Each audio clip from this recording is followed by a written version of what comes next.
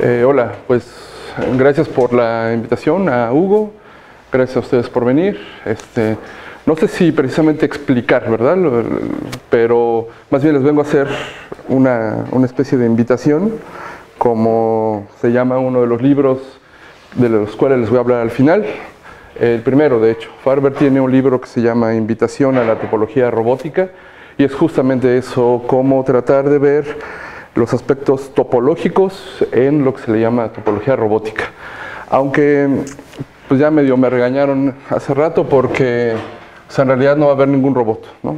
lo siento. ¿no? Entonces más bien debería llamarse algo así como topología aplicada, aunque seguramente también me van a regañar por eso, ¿no? Entonces, entonces no sé, este, ¿qué tal así, no? Entonces, mi idea es como, voy a empezar a hablar un poco de los espacios topológicos que surgen en ciertas situaciones, eh, llámese como de, como de física, como de dinámica, como de mecánica, y luego cómo algunas problemáticas que se presentan ahí pueden ser atacadas, ya no resueltas, atacadas, replanteadas en términos meramente topológicos. Eh, eso a mí me gusta mucho porque en mis tiempos, cuando aprendí topología, pues era topología general, topología de conjuntos, ¿no? y me explicaban un montón de cosas súper raras, ¿no? unos conceptos que yo decía, suena bien pues, pero ¿y eso como para qué? ¿no? Eh, luego aprendí un poco de topología algebraica, ¿no? Y también sonaba súper padre, ¿no? Así esa combinación de topología y álgebra, ¿no? Y también estaba muy bien, ¿no? Aprendí sobre grupo fundamental y homología y comología y también decía, está súper padre, ¿no? Pero luego, ¿no? Pues luego resulta que hubo una especie de boom por ahí de principios del, del siglo XXI con este señor Michael Farber, que dijo, bueno, a ver, todo esto que se hace en topología podría ser aplicado a atacar problemáticas de robótica, ¿no?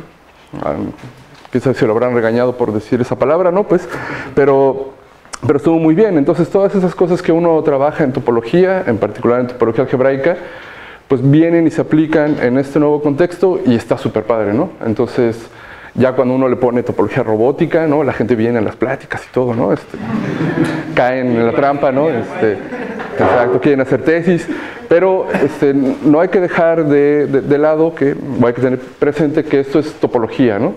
Entonces, topología es un estudio cualitativo del asunto, ¿no? Entonces, hacemos un estudio de una situación, pero cualitativamente, ¿no? Eso quiere decir que, pues, este, se puede aplicar la topología, pero después de un curso de topología no creo que puedan ir a una industria y resolver problemas, ¿no? Entonces es como el lado cualitativo y teórico. Ok, entonces, pues a, manera de introducción. Ah, de una vez me disculpo, no me salen muy bien los dibujitos, voy, a hacerlo lo, mejor que pueda, ¿no? La mayoría de los espacios que vamos a estar considerando pues son espacios topológicos.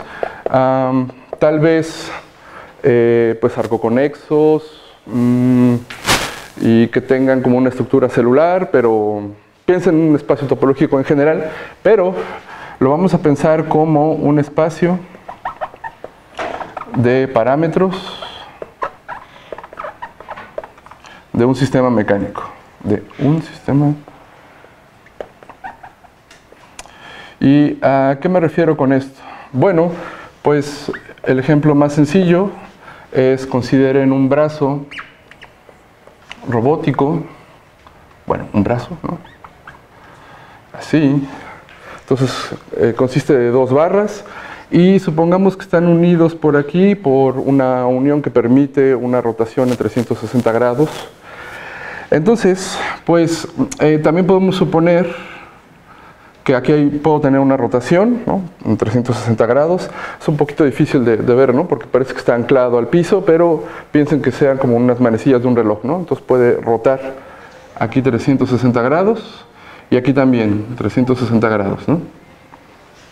Entonces, ¿a qué me refiero con un espacio de parámetros de un sistema mecánico? Puedes encontrar un espacio topológico tal que por cada punto de ese espacio yo tenga un estado de este sistema. Y al revés, que cada, sistema, cada estado de este sistema me determine un punto acá en el espacio topológico. En este caso, no es muy difícil ver que un estado de este sistema pues corresponde a dos ángulos, aquí y aquí, ¿no? O sea, nada más depende cómo roto aquí y cómo roto acá. Entonces, si tengo un ángulo, acá tengo otro. Entonces, el, espacio de estados aquí, pues es un producto cartesiano em, de pues una circunferencia. Este ángulo se mueve en 360 grados, este también. Eh, entonces, el espacio de estados es una cosa como estas, ¿no? O sea, hace un toro. ¿no? Eh, bueno, pero pues queremos hacer un poquito más, ¿no? ¿Qué pasa si ahora este, tengo la misma situación con un brazo aquí, digamos que ahora se movió para acá y se movió para acá. Entonces aquí pues tengo un nuevo estado porque corresponde a otros valores de estos ángulos. Y entonces este corresponde a un estado A y este corresponde a un estado B. Y lo que queremos hacer es, pues si ya topologicé esta situación, pues quiero topologizar también cómo moverme de un estado a otro. Ahora, formalmente, tengo que dar definiciones, formalmente lo que hago es tomarme la siguiente función. Voy a denotar por x, y al conjunto, de hecho no es conjunto, es espacio, al espacio de caminos continuos en X, ¿no? Es decir, son los alfas que van del intervalo unitario en X, así tal cual, ¿no? Y entonces considero una función pi que va de este espacio de caminos a x cruz x. Y lo que hago es, pues dado un camino en x, me voy a fijar en dónde termina y en dónde inicia. Entonces es una función muy sencilla, simplemente estoy determinando eh, pues, en, qué configuración empezó y en dónde terminó mi camino este. Pero más que eso, me interesa saber cuándo es posible hallar una sección continua de esta función. Sección continua me refiero a una función inversa que haga lo siguiente. Entonces, es decir, ¿será que existe una función s que va de regreso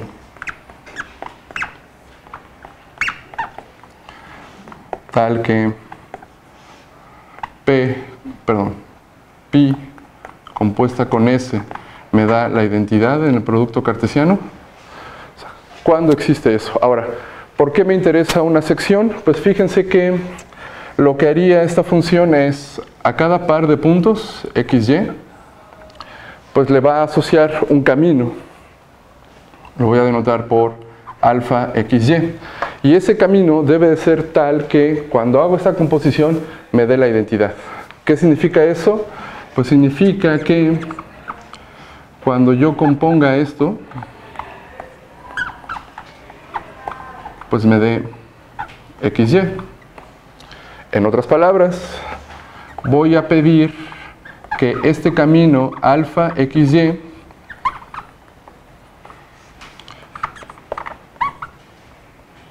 empiece en X y termina en Y. Entonces, esta sección continua me estaría resolviendo un problema de determinar si X y Y, dos estados de mi sistema, pueden ser llevados uno en el otro de manera continua. Aquí la palabra clave es la continuidad.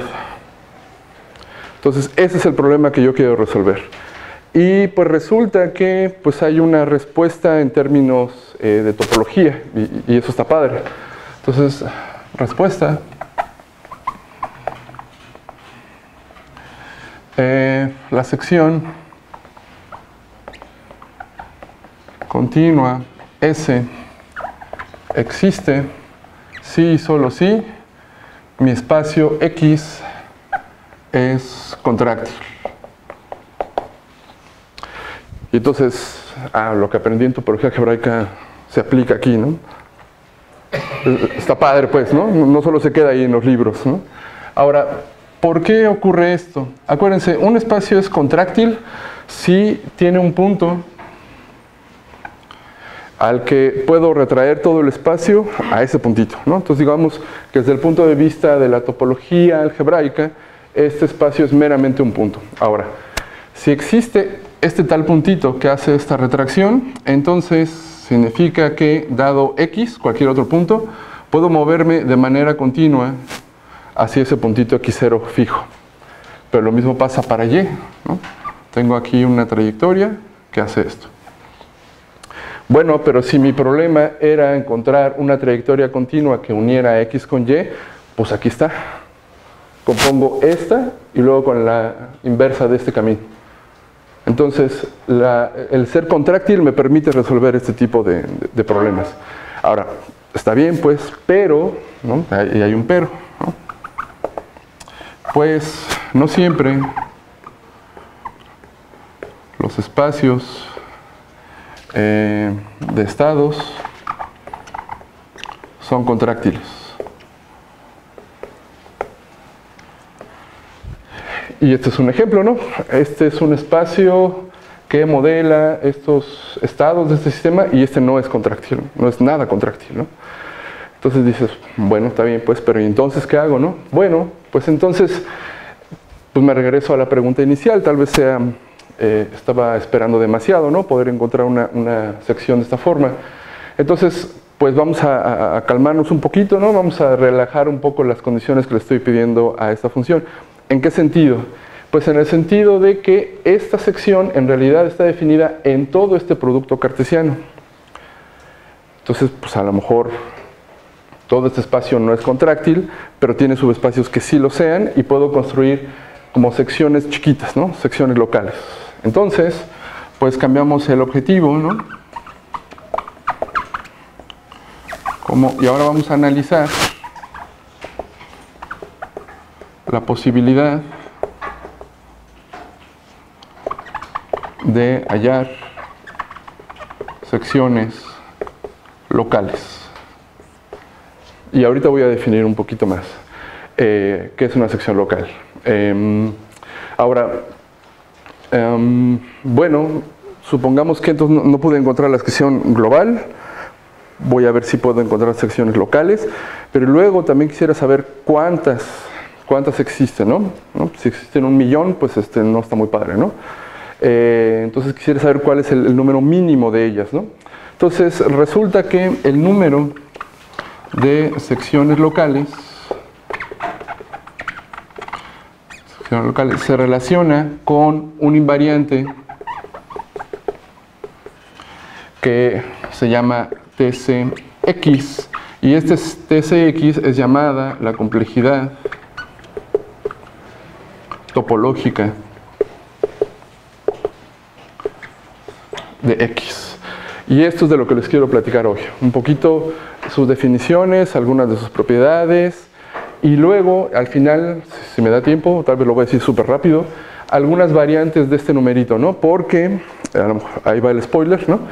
A veces este numerito es complicado de calcular, ¿no? O sea, lo que podemos hacer es como acotarlo, pero dar un valor explícito, así exacto, pues está complicado. Entonces lo que uno hace, pues entonces ahora ves posibles variaciones de ese numerito, a ver si eso te permite calcularlo de mejor manera, ¿no? Entonces, bueno, esa es este es el fin de la primera parte, de la introducción, de hecho. Entonces ahora, déjenme les voy a hablar sobre ciertos invariantes topológicos que me van a llevar a definir este numerito. Entonces, hay un invariante, es, es clásico en la topología, es llamada la categoría de Lusternik Lusternik, Schnirelmann y por lo complicado de la pronunciación simplemente lo voy a llamar la categoría LS y este, este numerito se calcula de la siguiente manera. Entonces cat se va a denotar de esta manera. Cat de x es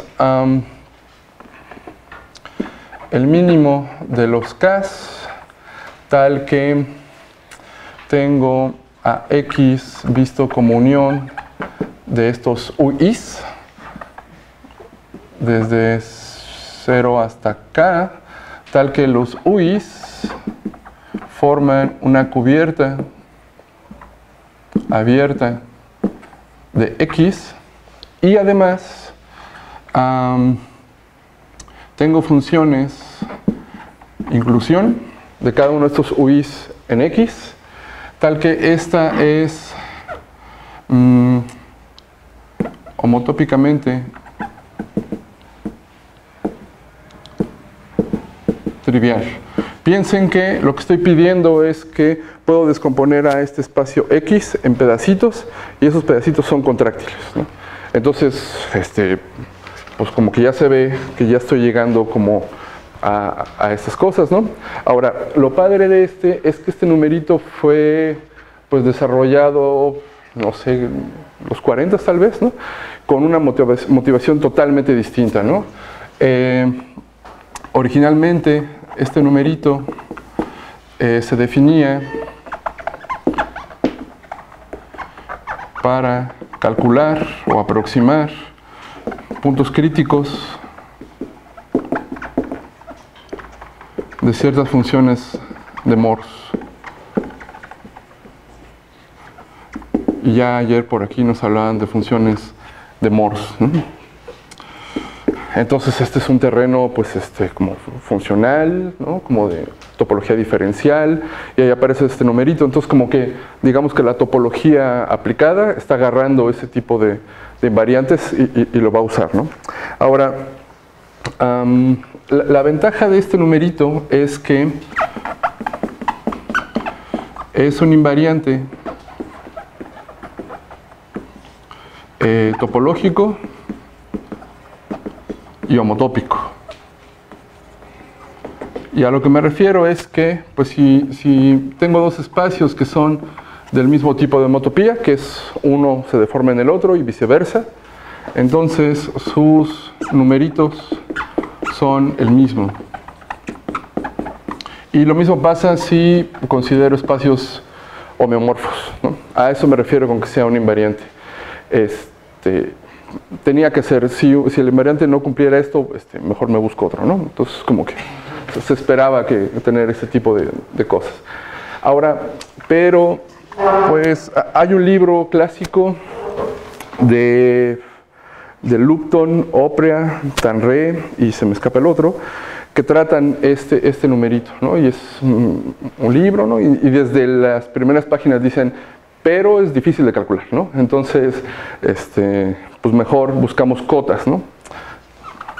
Entonces, difícil de calcular.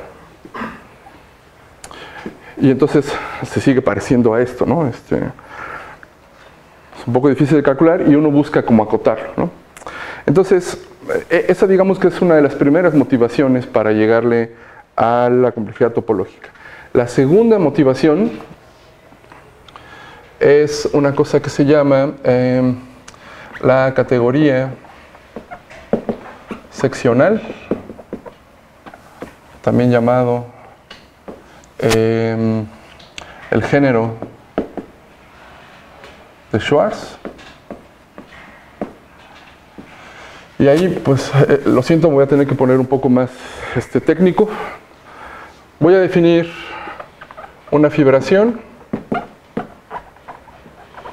una fibración como un conjunto, bueno, es una tripleta, tengo dos espacios topológicos, E y B, y una función P continua entre ellos. Eh, es una función P de E en B tal que tiene la propiedad del levantamiento de homotopías.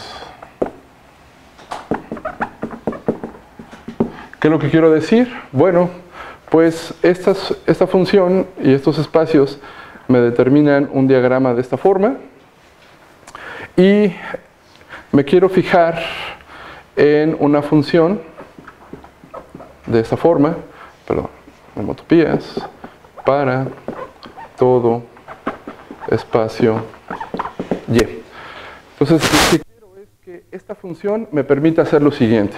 Me voy a considerar una, homotopía, una función que tiene esta forma, que cae en B, y resulta que si yo puedo levantar, digamos, como la parte de abajo de esta función, cuando me fijo en 0, digamos h, esta es la inclusión, entonces esta función me va a permitir definir una función aquí que es el levantamiento de esta. ¿no? El levantamiento simplemente por esto. ¿no? h originalmente estaba definida en b, ahora me construyo esta h tilde, pero ahora está definida arriba. ¿no? Entonces, si esta función me permite hacer esto, completar este diagrama, le llamo una fibración. Así nomás, ¿no? Ok, bueno, entonces con esto, déjeme dar un, pequeño ejemplo, nada más para no estar hablando hacia el aire. Tómense dos espacios, B y F, espacios topológicos, eh, espacios topológicos, así tal cual. Y tómense a E como el producto cartesiano de ellos.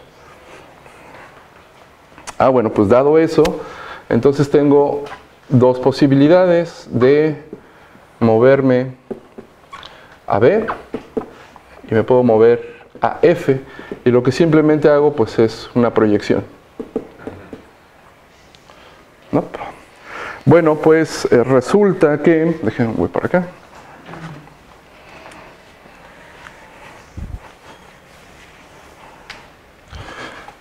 Resulta que estas proyecciones son una fibración. Es decir, yo puedo colocar a este producto cartesiano, lo mando a B, y siempre que tenga una función h de cualquier espacio topológico de esta forma, siempre me puedo construir esta otra función, h tilde. Ahora, pues aquí está muy, pues está fácil pues porque este es un producto cartesiano.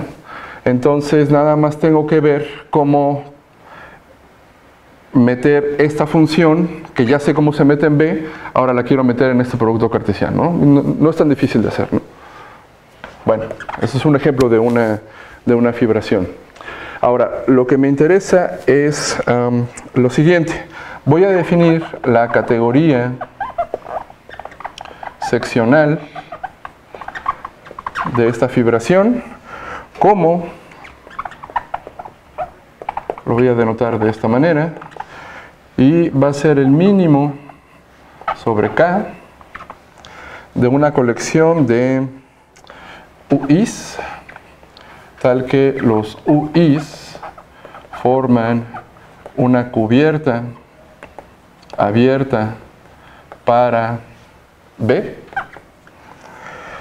y tal que para todo I existen funciones SI de UI en E, tales que P compuesto con SI me da la identidad en UI. O sea, ahora lo que está pasando es que aquí tengo mi espacio E, tengo aquí a P, y por aquí vive mi espacio B, y estoy viendo encontrarme pedacitos aquí, UIs, y funciones que no estén definidas en todo B, sino nada más en una parte pequeña de, de B, pero que satisfaga esto. Es decir, estoy pidiendo que sea una sección local, una sección chiquita. Observación importante, si P tiene una sección global, es decir, no solamente en los UI, sino en todo B.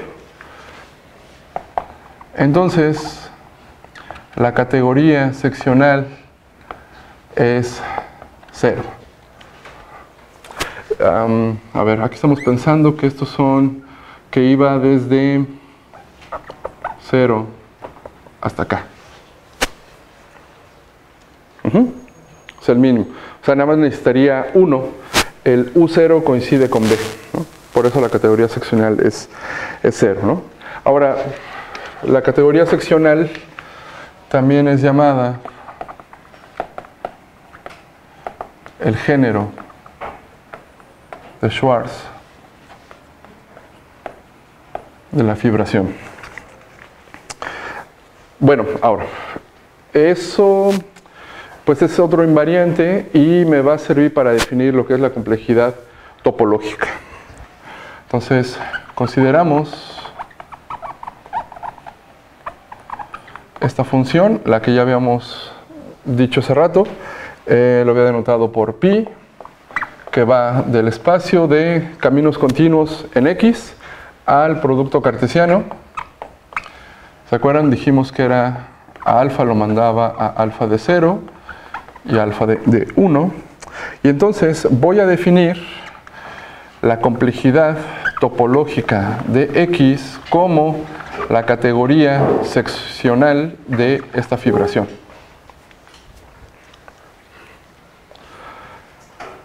¿Qué estoy diciendo? Bueno, pues me estoy, estoy diciendo que me voy a tomar esta función particular y voy a tratar de descomponer al producto cartesiano en UIs eh, desde 0 hasta K, tal que lo que dije hace rato, tal que los UIs forman una cubierta abierta para el producto cartesiano y tal que tengo secciones locales de aquí para acá.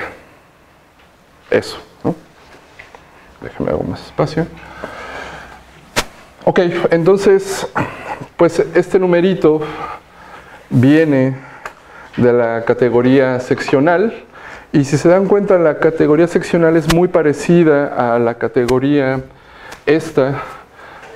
Nada más habría que ver que esto es equivalente a poder construir este tipo de eh, entonces, este es lo que yo quería definir.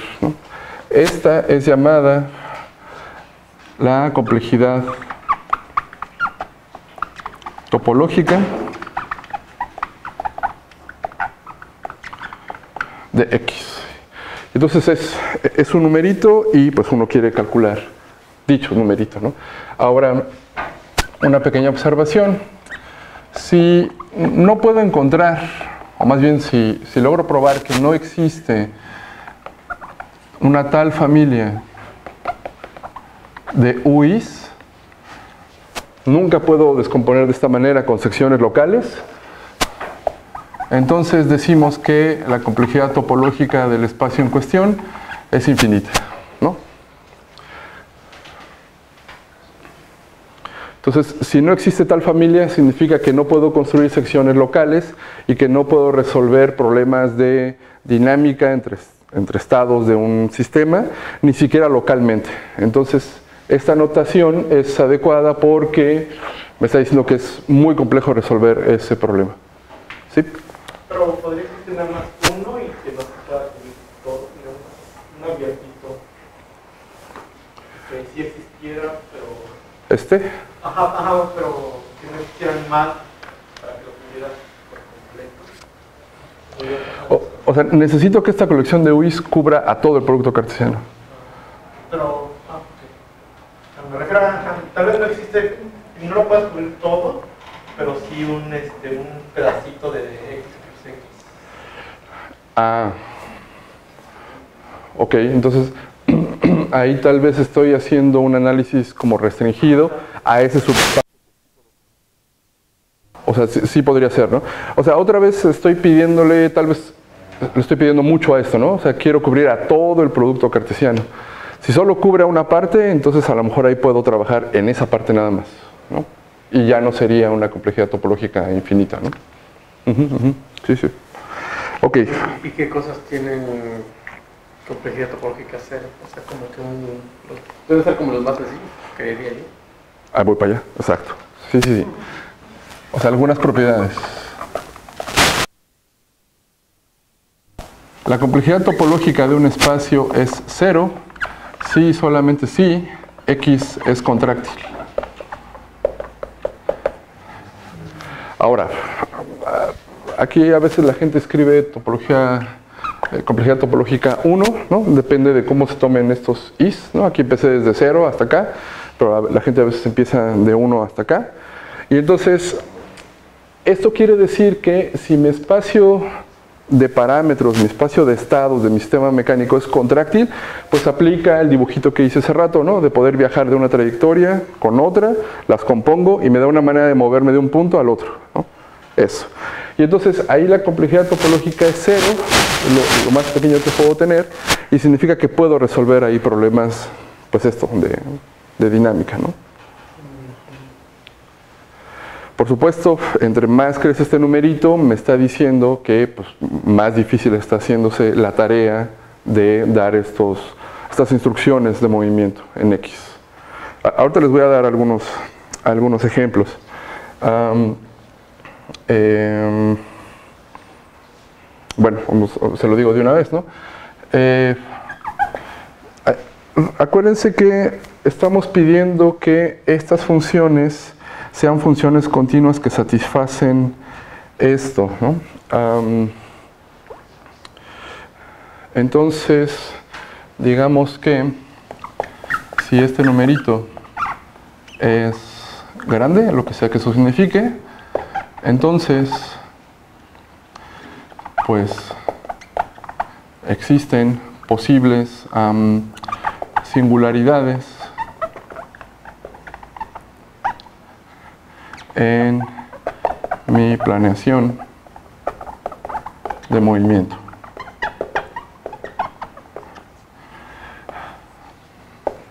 Entonces, como que la idea es, bueno, descalcular este numerito, pero también cuando este numerito es grande, pues es tratar de interpretarlo en términos de, pues, de estas singularidades, ¿no? Ahora, vuelvo a lo que les decía al principio de la charla, lo que estamos haciendo aquí es un análisis cualitativo de esta situación. Eh, y entonces, cualitativo quiere decir a veces que no hablamos mucho con los ingenieros, ¿no? Hablamos con otros topólogos.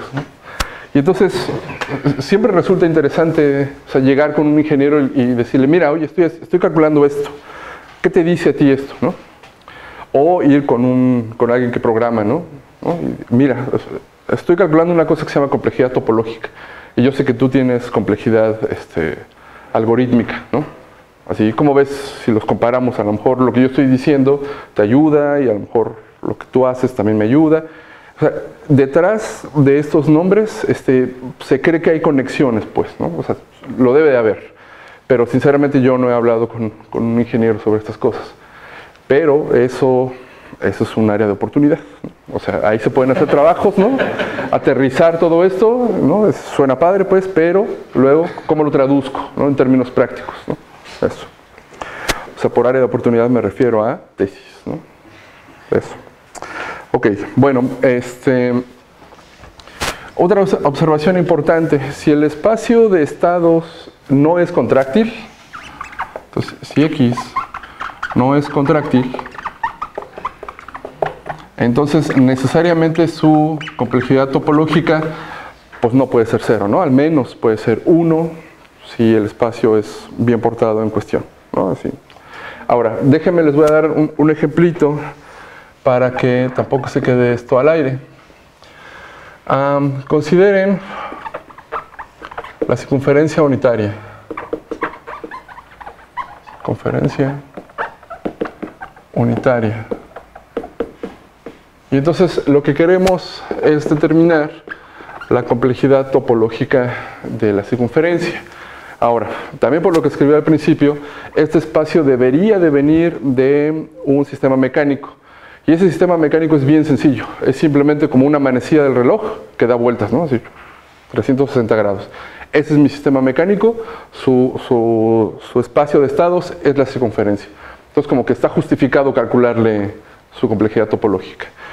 Bueno, pues resulta que su complejidad topológica es 2. Y pues sin, sin ser muy técnico, porque ya, ya lo hice hace rato, ¿cómo se prueba eso? Pues, eh, por definición, debería yo de dar una descomposición para el producto cartesiano de la circunferencia en, en dos abiertos, ¿no? Para que me dé... Sería uno. Sí, sabía que me iba a topar con estas cosas. Ok, está bien. ¿Sí? Está bien. Sí, ok, bueno, está bien. Ahora, pues nada más tengo que decir cómo cubrir a todas las parejas de puntos en la circunferencia con dos abiertos, ¿no? Y sin entrar en muchos detalles, uno de ellos consiste de las parejas que no son antipodales y el otro de puntos que son distintos. Habría que hacer una pequeña cuentita para ver que con estos dos cubro a todos estos. Ahora, pero no solamente necesito estos abiertos, necesito construir estas funciones, estas secciones locales. ¿no? Y, es muy padre cómo aquí aparecen también resultados que uno ve en topología, ¿no? Este, ah, Acá iniciabas en cero. Exacto. Entonces, ahí es uno, de acuerdo con el cero. Si, si empieza en uno, ya está mejor. ¿Sí? Ok, está bien. Entonces, fíjense, ¿qué está pasando en la circunferencia? Entonces, tengo la circunferencia, tengo dos estados, el estado A y el estado B. Y entonces, acuérdense que estas secciones locales se construyen de tal manera que puedo resolver cómo moverme de un estado al otro, al menos en, la región donde cae. Entonces, si A y B están aquí, y digamos que el antipodal de este, de A está por acá, entonces, pues aquí está bien fácil, ¿no? O sea, ¿cómo me muevo de A a B? Pues, pues voy a elegir el camino más corto, ¿no?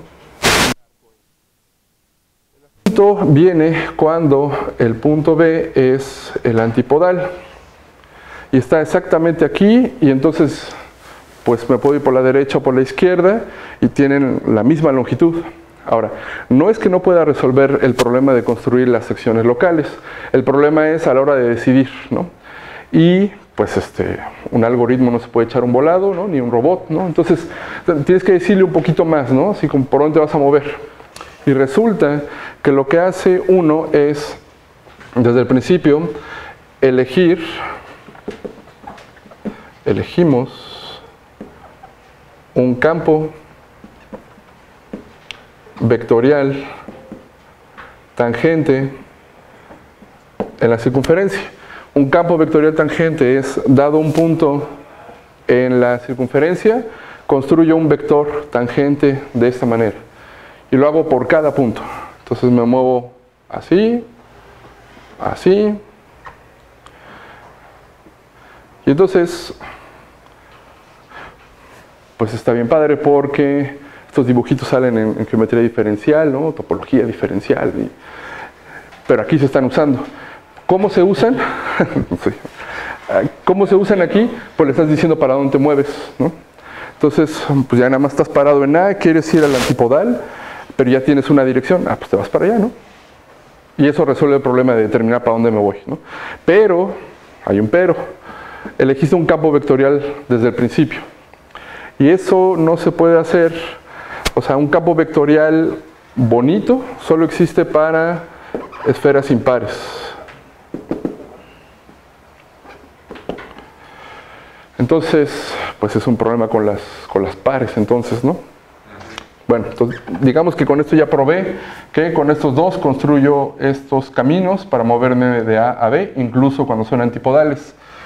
Y cuando la esfera tiene dimensión par, pues tampoco está tan mal, ¿no? Nada más sube en uno la complejidad topológica. De ese no se lo voy a probar porque si no me voy a poner un poco más técnico. Entonces, observación. Ahora, este asunto de los campos vectoriales tangentes, como aplica para esferas impares, pues me puede servir para atacar el problema de la complejidad topológica para esferas de dimensión impar y aquí también es 2, ¿no? Entonces también aquí pues puedo tomar así, ¿no? Pares, ¿no? Entonces como que las esferas se comportan bien, ¿no? Tenía que serlo, ¿no? Las, las esferas son bien portadas. Pero pues este fuera de estos dos casos, necesitamos otras herramientas para, calcular la, complejidad topológica. Y pues por cuestiones de tiempo, en general, se requieren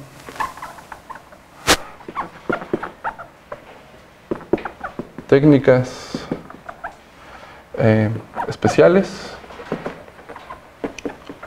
para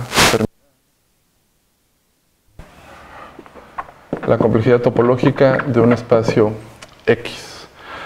Ahora, pues, ¿a, qué me refiero con, herramientas especiales? Eh, a, lo siguiente, cuando leí primero por, este, por primera vez sobre la complejidad topológica, me dio la impresión de que era un numerito que estaba como, como en el limbo, ¿no? Está como en medio de dos mundos. Por un lado, está como un mundo geométrico topológico, en el sentido de que se le puede calcular la dimensión a este X, lo que sea que eso signifique, la dimensión, y eso me da una cota por arriba. Entonces e, es un terreno geométrico topológico motópico, donde se pueden hacer dibujitos. Pero por abajo hay un terreno que es más bien algebraico. Y entonces lo padre de este numerito es que tiene para todos, ¿no? Así los que quieren, los que gusten más lo algebraico, van por acá o por acá lo geométrico. Eh, un poco la estructura del anillo de comología de X, ¿no? Pero ya no me va a dar tiempo de, aburrirlos con esa parte, ¿no?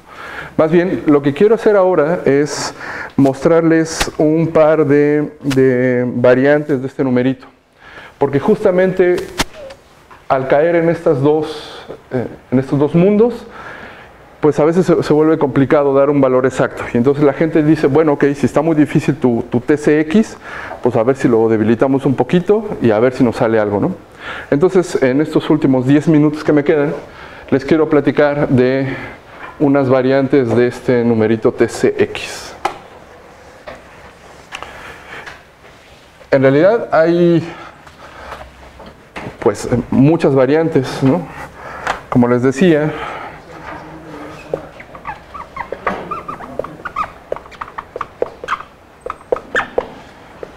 si no se puede calcular, entonces vamos a, verlo de otra forma. Y hay un poco como para de todos los gustos, ¿no? Hay una TC X cuando X es un G espacio, por ejemplo. Entonces, si hay un grupo por ahí actuando, haciéndole algo a X, pues tratas de ver si esa acción repercute en este numerito y de qué manera. Hay una versión en la que consideramos lazos en vez de caminos, es decir, voy a pedir que los caminos que yo estoy considerando terminen en el mismo lugar donde inicié. Es decir, en, cuestiones del sistema mecánico este, lo que quiero es estoy en un, en un, estado, en una posición, y quiero como que haga una tarea, pero que regrese al mismo lugar. hay otra versión eh, de las que les voy a hablar ahorita. Hay una versión que tiene que ver con funciones. Entonces le calculo la complejidad topológica a una función. Eh, antes de ponerme un poco técnico con la definición de esto, me gustaría platicarles de dónde viene la idea de calcular este numerito. Entonces, una motivación. Ah, la primera motivación. La primera motivación tiene que ver con el, la siguiente, el siguiente dibujito. Eh, piensen en ¿Han visto estos cilindros con los que se mueven las puertas? ¿no? Son dos cilindros y se mueve uno así sobre el otro. Entonces, monten aquí un pequeño brazo, monten otro tipo de uniones, así, igual que este, ¿no? Entonces este se rota así.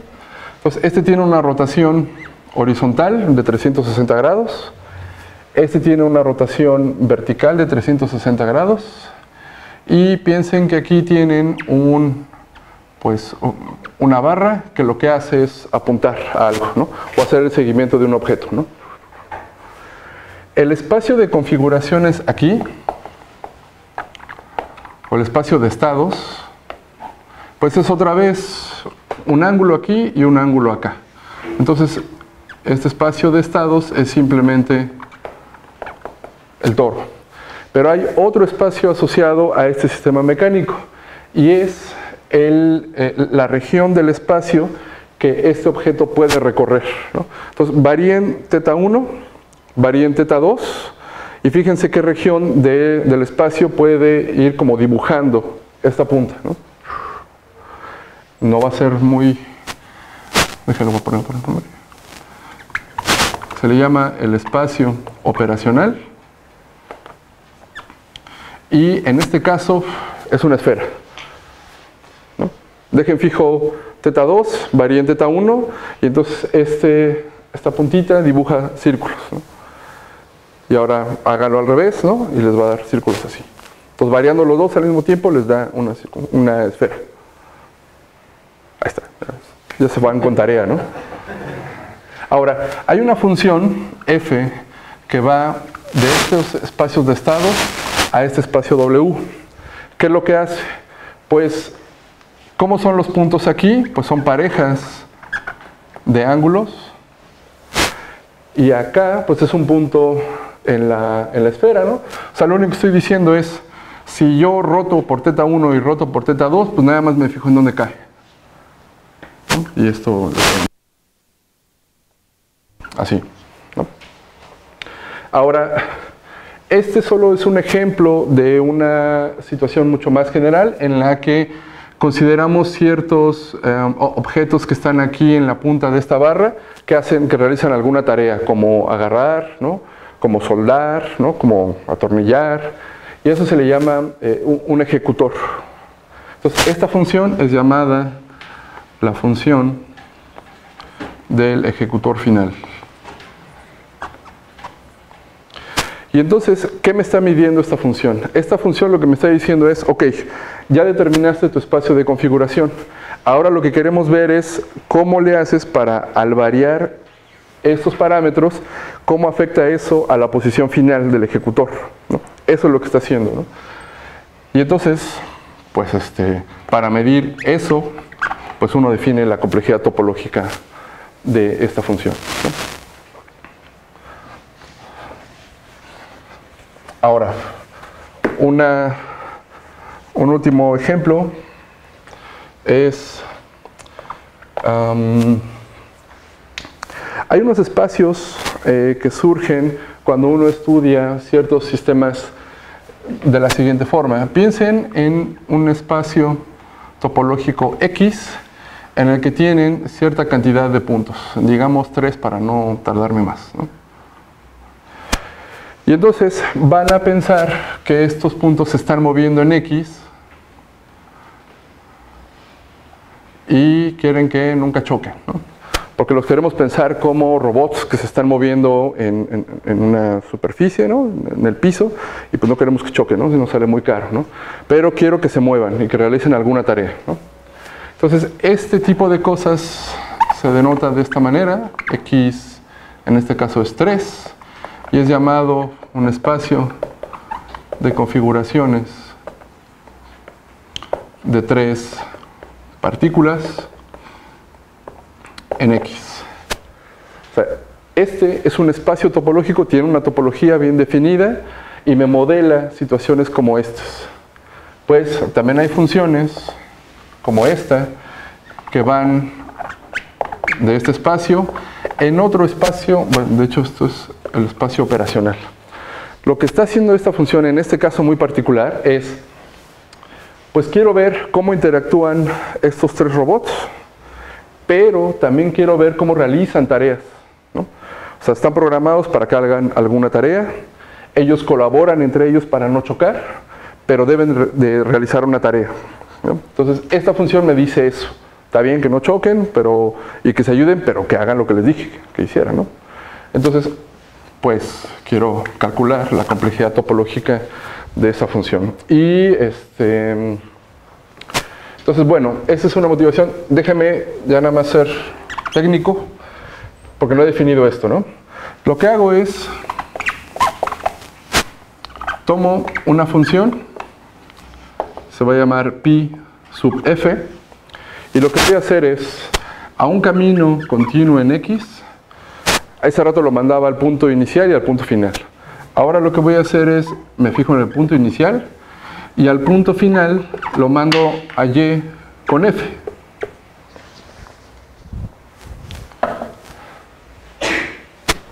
O sea, esto es lo que está diciendo, ok, pues acabó en ese punto, pero ¿qué tarea cumplió esa función, ese, camino, no? Por lo mando a y. Pues la complejidad topológica de la función f se define como la categoría seccional de esta función. Eh, bueno, pues creo que ya no va a dar mucho tiempo de hablar de otras cosas. Hay otra variante de la complejidad topológica, les decía, hay varias. Hay una que está bien padre porque está definida para grupos. Y, eso, está, eso está muy bien porque en algunos cursos uno estudia comología de grupos, lo que sea que eso signifique, ¿no? Y entonces se vuelve muy técnico, muy algebraico y de repente uno no sabe qué es lo que está haciendo, ¿no? O al menos a mí me pasó. Y entonces resulta que se puede definir la complejidad topológica de un grupo. Y pues no les voy a decir cómo se define, ¿no? después se los puedo platicar. Pero entonces uno está uniendo este terreno como algebraico de muchas este, resoluciones proyectivas y libres y no sé qué, con estas cuestiones como de robótica. ¿no?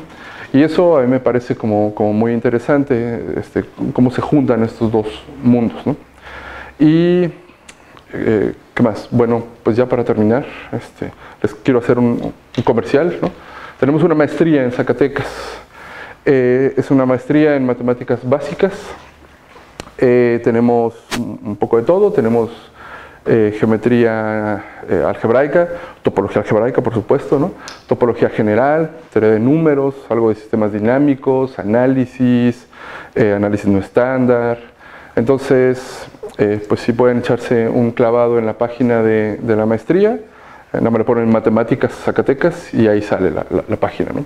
Para que le echen un vistazo si es que están buscando algún lugar para, para hacer maestría o doctorado. Y bueno, pues ya, eso.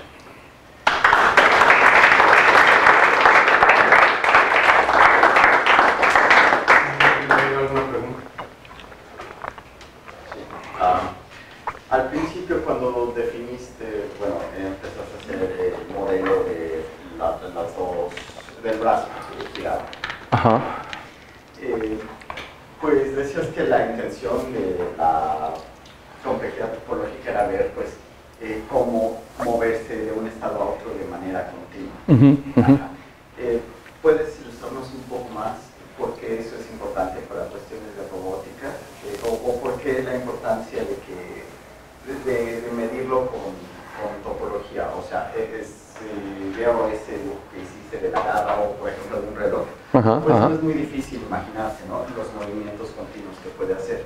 Entonces, ¿por qué eh, estudiarlo con, la complejidad topológica?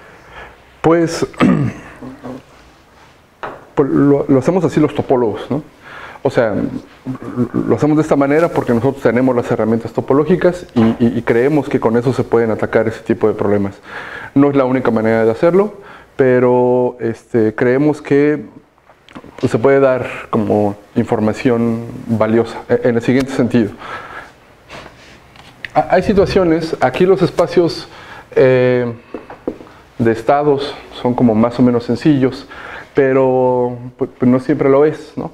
Hay un problema muy, muy famoso que es el problema del, del cargador del piano. ¿no? Entonces, resulta que pues te quieres comprar un piano, ¿no? Y entonces, pues te lo van a, entregar a tu casa, ¿no? Aquí está la puerta. Y entonces, a, ver si dibujo un piano, ¿no? su piel. Exacto. Entonces, eh, digamos que tú lo recibes y te dicen, bueno, pero ¿sabe qué? Póngalo acá. ok, está bien, pero, pero ¿y cómo me muevo por ahí? Debe ser medio complicado porque el cargador no conoce tu casa, idealmente, ¿no? No conoce, y entonces en el momento, pues exacto, sí, quién sabe, ¿no? Depende de dónde lo hayas comprado. No, pero el, el cargador tiene que decidir ya estando ahí, cómo lo mueve, ¿no? lo, lo, rota, para dónde se mueve, y es una cuestión un poco complicada. Ahora, lo que hacemos acá en topología aplicada, en topología robótica, es dar un buen modelo de todo esto.